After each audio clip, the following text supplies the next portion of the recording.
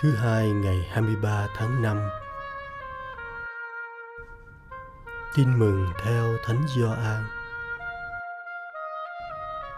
Khi đấng bảo trợ đến, đấng mà thầy sẽ sai đến với anh em từ nơi Chúa Cha.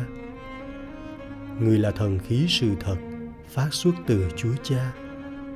Người sẽ làm chứng về thầy.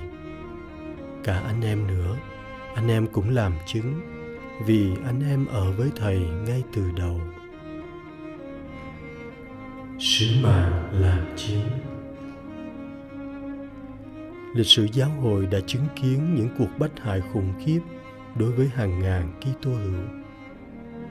Nhưng trải qua những thời khắc ấy, hạt giống đức tin vẫn trổ sinh hoa trái nhờ những chứng nhân anh dũng dám hy sinh tính mạng để làm chứng đức tin của mình.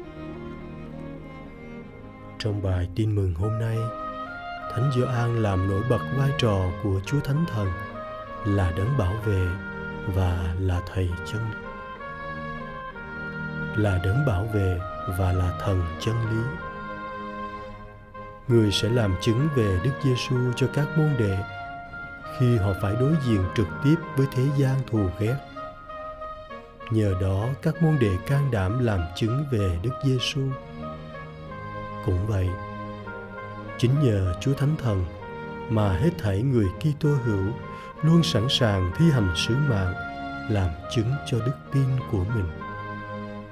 Đó cũng chính là tham dự vào sứ vụ mà Đức Giêsu đã ủy thác cho giáo hội hơn 2.000 năm qua. Lạy Chúa Thánh Thần, xin soi sáng tâm trí và ban cho chúng con tinh thần can đảm làm chứng cho sự thật trước thế gian. Amen.